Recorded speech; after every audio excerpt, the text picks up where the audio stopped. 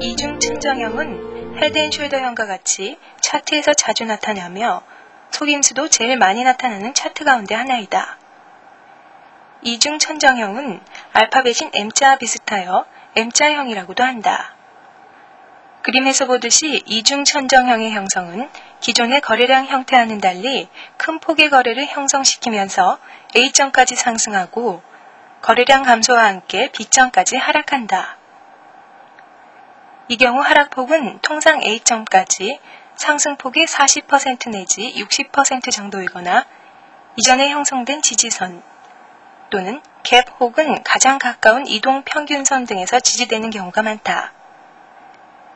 그 후 재차 거래량 증가와 함께 시점 부근까지 상승을 시도하나 A점의 강한 저항으로 재차 되밀리는 현상이 나타나는데 통상 A점을 상회하지 못하고 하락한다.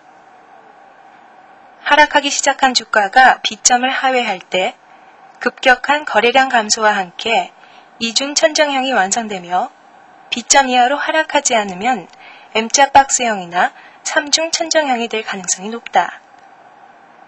하락한 주가가 B점 이하로 하락한 후 되돌림 현상이 나타나는데 경험적으로 B점 이상으로 상승하기가 쉽지 않다.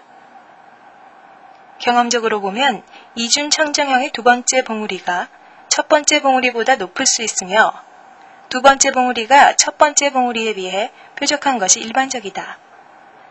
목표치 계산은 C점에서 넥클라인까지의 폭만큼 넥클라인에서부터 더 하락하는 것으로 보는데 목표 가격을 예측하기 이전에 주요한 지지선이나 저항선, 캡, 이동 평균선 등을 확인하여 목표치 예측 이전에 지지선, 저항선, 캡, 이동 평균선 등이 존재하면 그것을 1차 하락 목표치로 보는 것이 유용하다. 그림에서 보듯이 10월 큰 폭으로 상승하던 주가가 11월 초 이중 천정형을 완성하면서 하락 전환되고 있다. 목표치 계산은 넥클라인 돌파 시점에서부터 왼쪽 본 크기가 1차 예상치이고 그 다음 오른쪽 본만큼이 최소 하락 예상치이다. 주목할 점은 이중 천정형이 완성되면서 단기 급락에 대한 반발 매수세가 가담되나 통상 넥클라인이 저항선 역할을 하며 재차 하락세로 전환되는 모습을 보이는데 그림에서도 같은 현상이 나타나고 있다. 이중 바닥형은 근본적으로 이중 천정형, 즉 M자를 거꾸로 뒤집어 놓은 형태이며 목표치 계산도 동일하게 예측할 수 있다. 특히 이중 바닥형은 헤드앤숄더형에 비해 장세 전환이 강력하다. 그림에서 보듯이 하락 추세선 돌파 시점이 1차 매수 시점이 되고 넥클라인 돌파 시에는 2차, 즉 확인 매수에 임해야 한다. 주목할 점은 이중 바닥형은 통상 역사적 저점에서 주로 나타나므로 매수 시점을 잘 포착만 하면 큰 폭의 수익을 기대할 수 있다. 이중 바닥형을 보통 W자형이라고도 하는데 특징이 두 번째 바닥이 첫 번째 바닥보다 낮은 경우가 드물고 두 번째 바닥의 경사가 첫 번째 바닥의 경사보다 완만한 것이 일반적이다.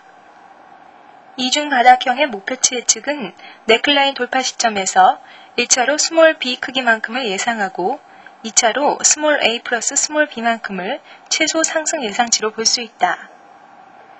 그림에서 3월 고점을 형성하고 하락하던 주가는 4월 이중 바닥형을 완성하고 있다. 목표치 계산은 주가가 neckline을 돌파하는 점 A점에서부터 1차 상승 예상치는 오른쪽 바닥인 small b의 크기이고 최소 예상치는 small b에서 small a를 더한 것과 같다. 거래량도 바닥에서의 상승이므로 왼쪽 바닥보다는 오른쪽 바닥이 더 크지만 대개 하락 추세선 돌파 시점인 A점이 최대이다. 이중천정 소기명은 통상 매도세와 매수세 간의 팽팽한 세력 싸움으로 인해 발생하는데 네클레인에서 강력한 지지를 받으며 상승하여 직전 고점인 A점과 C점을 차례로 돌파하며 상승을 시도한다.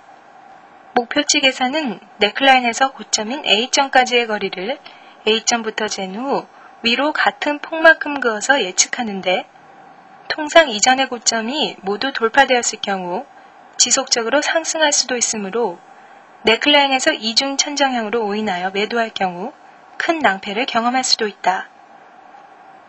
이때의 경우도 네클라인에서 통상 3% 혹은 3일 정도를 이용하여 추세 전환을 확인하며 혹 매도하였을 경우 직전 고점 A점이 돌파되는 순간 매수로 전환해야 한다. 특징으로는 네클라인으로 하락한 주가는 보통 기존의 거래량보다 큰 폭으로 증가하며 주가를 상승시키는 것이 일반적이다. 그림에서 보듯이 주가가 3월 급락 후 재상승을 시도하여 4월 이중 천정형을 완성하는데 하락 확인점인 네클라인을 하락 돌파하지 않고 재차 상승하는 모습을 보이고 있다. 이때 주가는 네클라인을 일시적으로 돌파하기는 하나 상승 추세를 유지하고 있다. 목표치 계산은 네클라인에서부터 고점을 재어서 그 크기만큼을 고점에서부터 위로 그어서 최소 상승 예상치로 설정할 수 있다. 이중바닥 속임형은 통상 두 번째 바닥이 최고의 거래량으로 주가가 네클라인에 도달할 당시 거래량의 증가가 보이지 않고 평균 거래량에도 못 미칠 경우 일단은 이중바닥 속임형으로 봐도 무방하다. 이 경우가 바로 지속 하락 중이던 주가가 잠시 보합권에서 머무른 후 재차 이전의 추세를 지속하는 형이다. 목표 측에서는 네클라인에서 A점까지의 거리를 재어서 A점에서부터 밑으로 그어 예측하게 되며 이 예측치는 최소한의 목표치이다.